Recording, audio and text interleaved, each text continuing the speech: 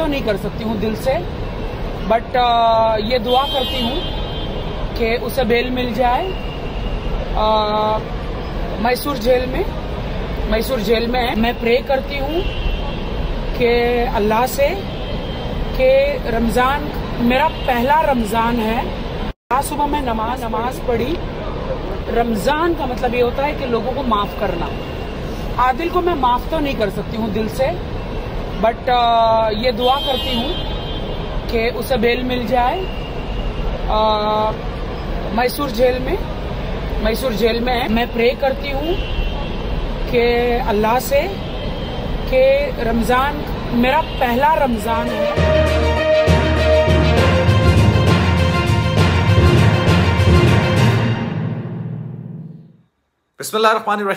वालेकुम आपको खुश आमदीद। मैं हूँ सलमान मिर्ज़ा और आप देख रहे हैं मेरा YouTube channel sum up with Salman Mirza.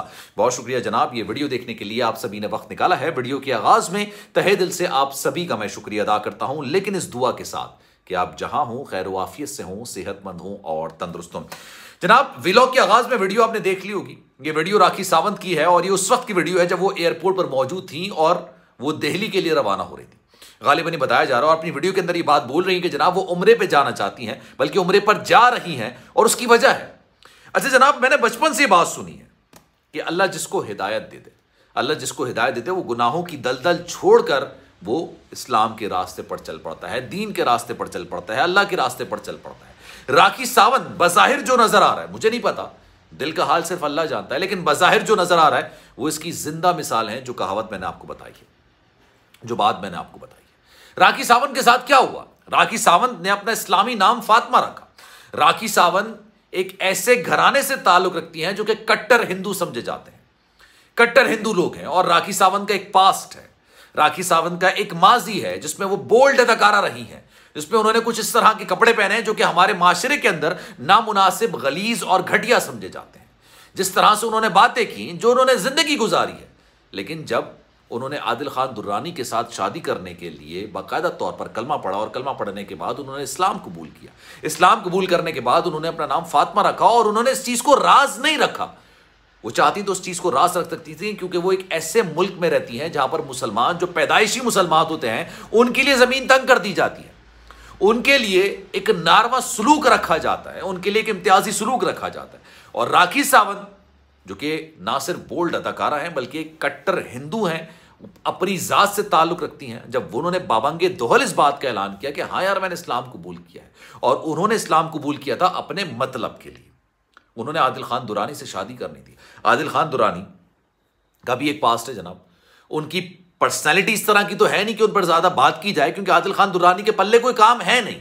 उन्होंने राखी सावंत से शादी इसलिए कर ली, या निकाह इसलिए कर लिया, या उसके साथ रिलेशन इसलिए बना लिया कि थोड़ा लाइमलाइट मर आ जाएँगे, ताकि लोग उनकी तस्वीर खींचना शुरू जाएँगे, लोग उनके वाले से बात करना शुरू हो जाएँगे कि भाई राखी सावंत एक वायरल गर्ल है, आप सब समझते हैं इस बात को। पूरी ज़िंदगी उनकी इस तरह से गुजरी है कि जनाब उन्होंने जो किया है वो वायरल हो गई अब उन्होंने जो किया है वो सब जानते हैं नामुनासिब उन्होंने हरकतें बहुत की हैं। राखी सावंत अपने मतलब के लिए, क्योंकि वो आदिल खान दुरानी मुसलमान थे, इसलिए उन्होंने इस्लाम कबूल कर लिया, नाम फातिमा रख लिया, इस्लाम के दायरे के अंदर दाखिल हो गई, और उसका बाबंगे दोहल उन्होंने ऐलान भी कर दिया। लेकिन आदिल खान दुरानी के साथ उनकी ज़िंदगी, उनका रिश्ता ख़त्म हो चुका है। आदिल खान दुरानी इस वक्त मैसूर जेल के अंदर मौजूद हैं और उन्होंने इल्ज़ाम आयद किया, यानी राखी सावंत ने इल्ज़ाम आयद किया कि बाकायदा तौर पर उनको जिस्मानी तशद का निशाना बनाया गया, उन पर मारपीट की गई आदिल खान दुरानी की वजह से। आदिल खान दुरानी को पुलिस ने गिरफ़्तार कर लिया और गिरफ़्तार करके जेल भेज दिया।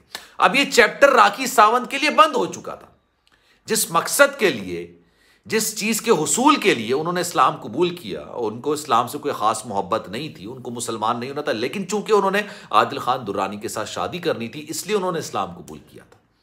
मैं राखी सावंत को एक नाटक गर्ल कहता हूँ, जनाब जहाँ जाती हैं, वो नाटक ज़रूर करती हैं। वो इस तरह की अदाकारी ज़रूर करती हैं कि उनको वायरल होना है, लेकिन आप इस बात को ज़रा मद्देनजर रखिए कि एक बंदी जिसने आदिल खान दुरानी के साथ शादी करने के लिए निकाह किया या इस्लाम कबूल किया। अब तो वो ख़त्म हो गया ना मामला। उसका निकाह भी ख़त्म हो गया, तमाम मामला ख़त्म हो गए, शादी के मामला ख़त्म हो गए, लेकिन अब वो, क्योंकि रमज़ान आ रहा है, इसलिए वो चाहती हैं कि जनाब वो रमज़ान अपना उम्र करने में गुजारें। वो उम्र करें, वो मक्का जाएँ, वो मदीना जाएँ, इस बात का ऐलान कर रही हैं और मीडिया पर आकर ऐलान कर रही हैं। और एक ऐसी जगह पर ऐलान कर रही हैं जहाँ पर मुसलमानों के लिए ज़िंदगी तंग कर दी जाती है। जहाँ पर अजान होती है तो मैं तमाम लोगों की बात नहीं करता। ऑनेस्टली मैं तमाम लोगों की बात नहीं करता। हिंदू इंतहा पसंद आटे में नमक के बराबर है।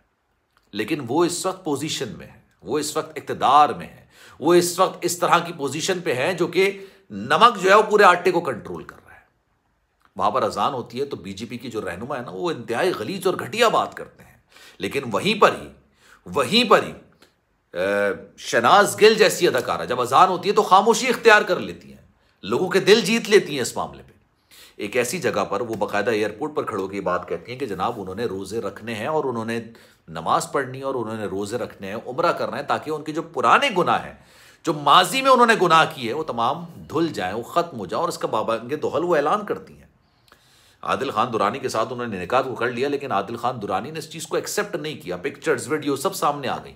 लेकिन उन्होंने इस चीज़ को एक्सेप्ट नहीं किया, तस्लीम नहीं किया, माना नहीं। फिर ये मामला ऊपर नीचे हो गया। राखी सावंत के साथ जो पिछले महीने या उससे पिछले महीने, आप समझ लें, जनवरी या फरवरी, बड़ा खतरनाक गुजरा है। उनकी वालिदा, जो कि राखी सावंत जिनके सबसे ज़्यादा करीब थी, वो भी उनको छोड़ के इस दुनिया से चली गई थी।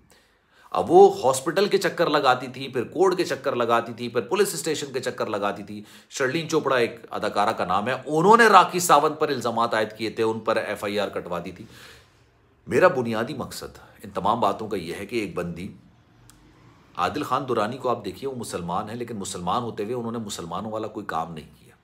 लेकिन राखी सावंत एक हिंदू थी, उन्होंने इस्लाम कबूल किया और इस्लाम कबूल करने के बाद वो बात कर रही हैं, जो कि एक नस्ली मुसलमान को करनी चाहिए। जो कि एक नस्ली मुसलमान से करनी चाहिए। और वही बात बोल रही कि मैं रोज़े रखूँगी, मैं नमाज़ पढ़ूँगी, मैं उम्र करने के लिए जाऊँगी, मैं जिम नहीं आऊँगी क्योंकि रोज़े में इंसान भूखा प्यासा होता है, वो रोज़ा रख रहा होता है, खाता पीता नहीं है तो इस वजह से मैं जिम नहीं आऊँगी। और इसका बावंगे दोहल वो ऐलान कर रही है। वो कह रही है कि जनाब, उनके दिल्ली के अंदर एक मामा है, खालिद उनका नाम बताया उन्होंने कि जनाब वो पेपर्स बनवा रहे हैं और पेपर्स इसलिए बनवा रहे हैं ताकि मैं जामा मस्जिद में जमा करा सकूँ और फिर मैं उम्र के लिए जा सकूँ। आप सब जानते हैं कि जनाब, एक महरम कोई की ज़रूरत होती है उम्र पर जाने के लिए। ऑनेस्टली मुझे बड़ी हैरत हुई उनका ये बयान देख के और मुझे अच्छा लगा क्योंकि मुझे ऐसा लग रहा था कि यार उन्होंने फेम हासिल करने के लिए, फिर से वायरल होने के लिए इस्लाम तो कबूल कर लिया, नाम भी तब्दील कर लिया। लेकिन अब उनका ये मामला खत्म हो गया तो वो दोबारा से अपने पुराने ढंग में आ जाएँगे। लेकिन खैर, वही बात जिस तरह से मैंने वीडियो का आगाज़ किया कि अल्लाह जिसको हिदायत दे, वो गुनाहों की दलदल छोड़ के इस्लाम के रास्ते पर चल पड़ता है। सलमान मिर्ज़ा, को दीजिए इजाज़त। ज़िंदगी रही, सेहत रही, आपकी दुआएँ रही तो इन आपसे फिर मुलाकात होगी। ख्याल रखिएगा अपना। अल्लाह हाफिज़।